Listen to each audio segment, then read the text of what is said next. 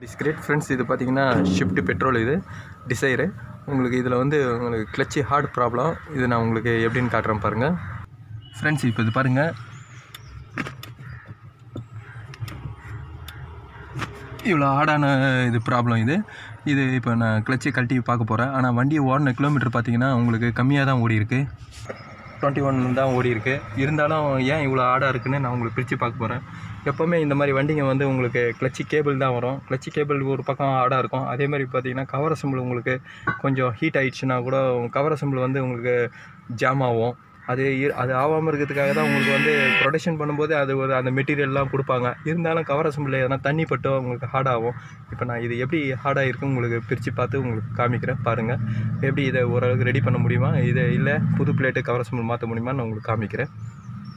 Gear பாக்ஸை down பண்ணிட்டேன். இங்கே பாருங்கள் ஃபுல்லாக ரிலீஸ் பண்ணுறீங்க எவ்வளோ ஜாம் ஆகிருக்கு பாருங்கள் பிளேட்டை வந்து உங்களுக்கு பிளேட்டு கிளச் பிளேட்டு பார்த்தீங்கன்னா சுத்தமாக உங்களுக்கு அதுவும் தேஞ்சு வந்துருச்சு. இங்கே பாருங்கள் அந்த இண்டிகேஷன் மார்க் வந்து கொஞ்சம் தான் இருக்குது அதுவும் சுத்தமாக தேஞ்சிருச்சு. இந்த சைடும் பாருங்கள் சுத்தமாக எல்லாமே இந்த இடம்லாம் அடி வாங்கிடுச்சு.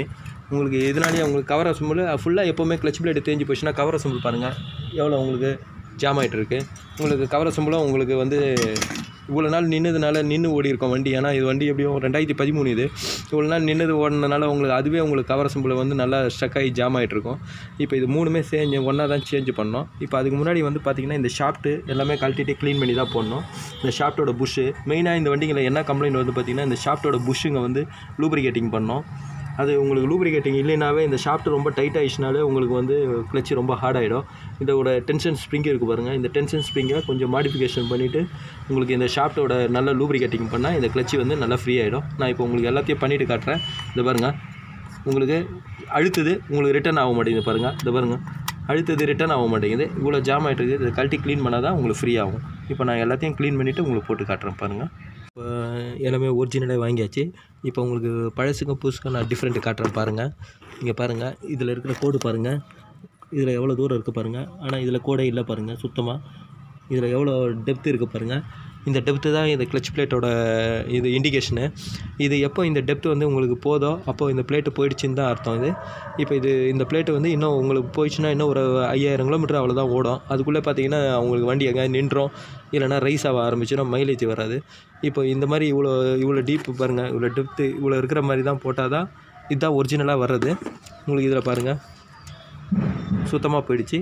இதுதான் பிளேட்டு சுத்தமாக போனதுக்கான அறிகுறி. எல்லா வண்டியிலையும் இப்படி தான் வரும். இப்போ நான் இந்த பிளேட்டை ஃபிட் பண்ணுறேன் பாருங்கள் அதுக்கு முன்னாடி பார்த்தீங்கன்னா இந்த பிளேட் கவர் அசம்பில் வந்து உங்களுக்கு க்ளீன் பண்ணிக்கணும். ஏன்னா இது ப்ரொடக்ஷன் பண்ணும்போதே இது கொஞ்சம் ஆயிலெலாம் வரும். இங்கே பாருங்கள் எவ்வளோ ஆயில் இருக்குது இந்த ஆயிலெலாம் உங்களுக்கு மாட்டும் போது ஸ்லிப் ஆகும். அதனால் இதை நம்ம எப்போவுமே சுத்தமாக உங்களுக்கு பேப்பரை வேஸ்ட்லாம் கூட போடாமல் வெறும் பேப்பர்லேயே க்ளீன் பண்ணால் கூட போதும். க்ளீன் பண்ணிங்கன்னா அது பாருங்கள் இந்த ஆயிலெலாம் உங்களுக்கு வந்துட்டதுக்கப்புறம் பிளேட்டை போட்டு நம்ம இன்சர்ட் பண்ணோம் உங்களுக்கு ஃப்ளைவில்லையும் க்ளீன் பண்ணிட்டேன். ஃப்ளைவீலையும் நான் பாலிஷ் பண்ணிட்டேன். ஏன்னா ஃப்ளைவீலை ரஃப் பண்ணி தான் வச்சுருக்கிறேன். ஏன்னா இது ஒரு இருபதாயிரம் கிலோமீட்டர் ஓனதுனால பிளேட் உங்களுக்கு ஃப்ளைவில்லாம் உங்களுக்கு அவ்வளோ சீக்கிரம் தேயாது. அதனால் பழைய ஃப்ளைவீலே போகிறேன் இதே கம்பெனியாக இருந்தால் உங்களுக்கு ஃப்ளைவீலு கிளச் பிளேட்டு கவர் சம்பளம் மூணுமே செட்டாக தான் மாற்றுவாங்க இப்போ இது வந்து உங்களுக்கு நான் அதுதான் ப்ரொசீஜரு ஆனால் நான் உங்களுக்கு வந்து ஃப்ளைவீல் நல்லா இருக்கிறதுனால அதோட அளவுலாம் இன்னும் தேயலை. அதனால் நான் அதே ஃப்ளைவீலே போடுறேன். இப்போ பிளேட் நான் ஃபிட் பண்ணுறேன் பாருங்கள் ஃப்ரெண்ட்ஸ் எப்போவுமே பிளேட் வந்து இந்த டயஃப்ராம் மாதிரி வர்றது தான் இந்த இது இந்த இந்த ஸ்ப்ரிங்கு வர்றது வந்து இந்த டயஃப்ராம் உள்ளே போகணும். அப்போ தான் உங்களுக்கு இந்த மட்டது தான் கிளச் பிளேட் உட்காரும். ஒரு ஒரு வண்டிக்கு ஒரு ஒரு பேட்டர்ன் மாறும். இப்போ பாருங்க இதுக்கு மூணு காற்று இப்போ காற்று இருக்கும். அந்த மூணு காற்றில் நம்ம உட்கார வைக்கிறோம்.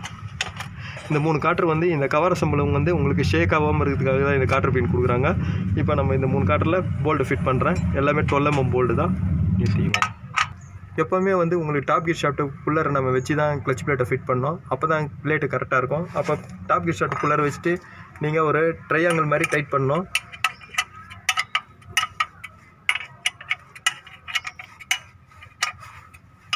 அதுக்கப்புறம் இந்த டாப் கியர் ஷாஃப்ட்டுக்குள்ளார நம்ம எடுத்துடலாம்.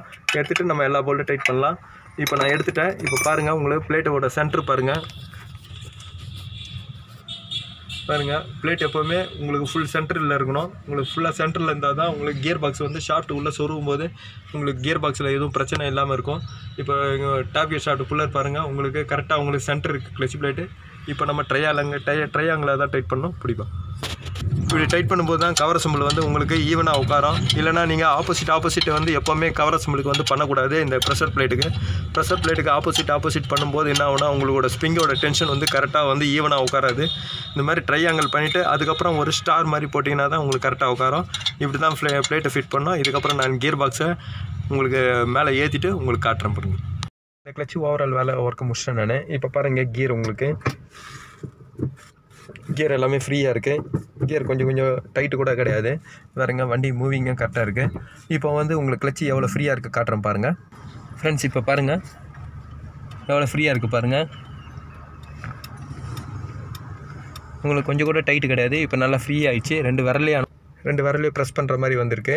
இப்போ உங்களுக்கு வந்து இதெல்லாம் வந்து இது இது இது என்ன ப்ராப்ளம் அப்படின்னு பார்த்தீங்கன்னா உங்களுக்கு கிளச் பிளேட்டு தேஞ்சிச்சுனாவே இந்த வண்டியில் ஷிஃப்ட்டு டிசைரு இந்த மாதிரி ஷிஃப்ட்டு பெட்ரோலெல்லாம் பார்த்தீங்கன்னா இந்த மாதிரி கிளச்சி வந்து தேஞ்சு போயிடுச்சுனாவே உங்களுக்கு இந்த மாதிரி ரொம்ப ஹார்ட் ஆகிடும் அது இல்லாமல் உங்களுக்கு அதோட ஃபோர்க்கு அந்த ரிலீஸ் பேரிங் தள்ளுற அந்த ஃபோர்க்கு உங்களுக்கு கிளச்சோட லிங்க்குங்க நம்ம இங்கே அழுத்தும் பொழுது காலை வச்சு அழுத்தும் போது அங்கே போய் கியர் பாக்ஸில் உங்களுக்கு தள்ளுற இடம் உங்களுக்கு கிளச்சி டிஸ்கை வந்து ப்ரெஸ் பண்ணுற இடம் அதெல்லாம் வந்து சரியாக லூப்ரிகேட்டிங் இல்லைன்னா உங்களுக்கு இந்த மாதிரி ஓவர் ஆட் ஆகிடும் அதேமாதிரி கவர் அசம்பிள் வந்து உங்களுக்கு பிளேட்டு வந்து சுத்தமாக வே வேன் அவுட் ஆயிடுச்சு தேஞ்சு போயிடுச்சு அந்த மாதிரி உங்களுக்கு துரு பிடிச்சி போயிடுச்சுனாலும் உங்களுக்கு ரொம்ப கிளச்சி வந்து உங்களுக்கு டிஸ்க்கு ரொம்ப அப்பரில் வந்துடும் ஃபுல் ஃப்ளோட்டிங் வரும்போது உங்களுக்கு அழுத்தும் போது ப்ரெஸ் பண்ணும்போது இல்லை உங்களுக்கு ரொம்ப ஹார்டாகிடும் இதுதான் இந்த வண்டியில் கம்ப்ளைண்ட்டு இப்போ இந்த வண்டியில் உங்களுக்கு அந்த வர சலைட்ரு ஃபோர்க்கு இது எல்லாத்தையும் ஃபுல்லாக க்ளீன் பண்ணி க்ரீஸ் பேக் பண்ணிவிட்டு உங்களுக்கு உங்களுக்கு கேபிள்லாம் கூட மாற்றலை கேபிள்லாம் நல்லா தான் இருக்குது ஆனால் அந்த ஃபோர்க்கு தான் உங்களுக்கு ரொம்ப ஜாம் ஆயிருந்தது.